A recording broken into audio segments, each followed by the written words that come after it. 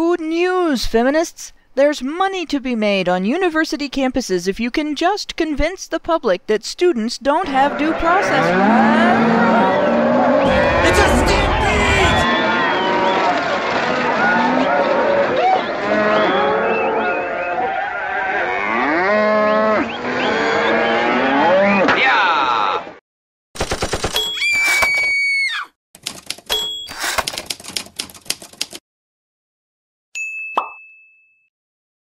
Last week, we began looking at some of the information shared at the 2018 Rowan University Title IX Research and Resources Conference, a gathering for university administrators and employees involved in the application of campus policy related to Title IX's current status, its implications, and its on campus applications.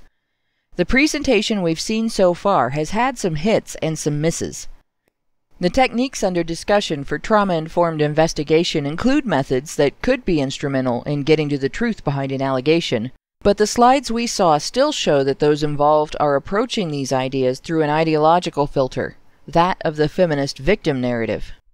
Accusers are referred to as victims. Even witnesses to a crime are referred to as victims. The accuser's other experiences, which may or may not have anything to do with the allegation in question, must be considered. The presumption of innocence for the accused is thrown out of the window, never to be seen for the entirety of the investigation. If the way this method of investigation is being discussed is any clue, the issues this technique was created to address aren't going away. Campus administrators are still beginning with a conclusion to which they are then fitting their methods and the evidence. They embark on an investigation that by nature cannot be performed objectively. Do they get all of the information they need? Or do their attempts at coddling the accuser leave them with an incomplete, biased picture?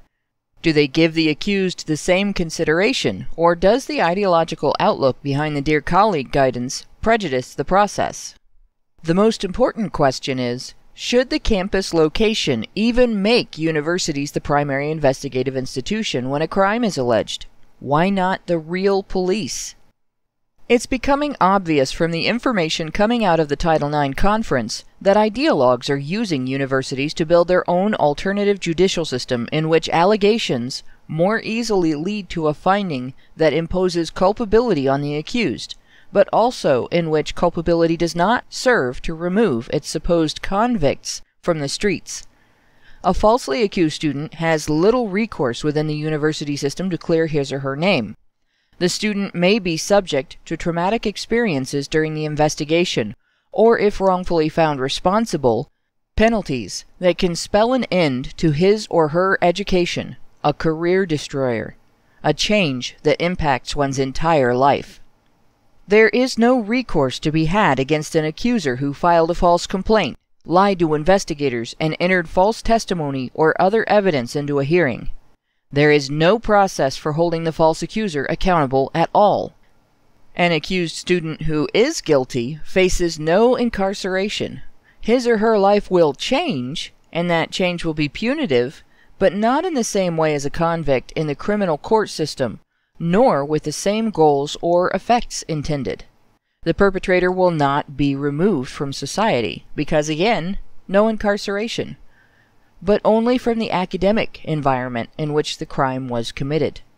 He or she will remain at large, then, able to perpetrate again at will. There will be nobody monitoring the perpetrator's activities as there would be following a sex crime conviction.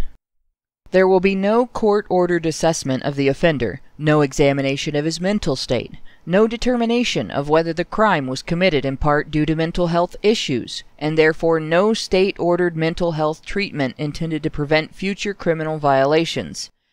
These factors are absent in the university system, leaving accusers who are actual victims unprotected.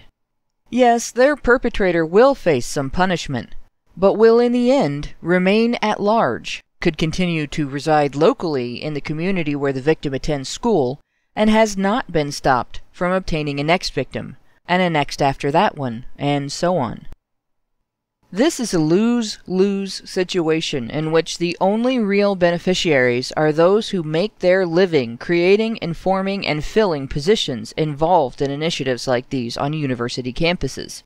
While outcomes are guaranteed to be bad for everyone else, there is money to be had from jobs in the industry.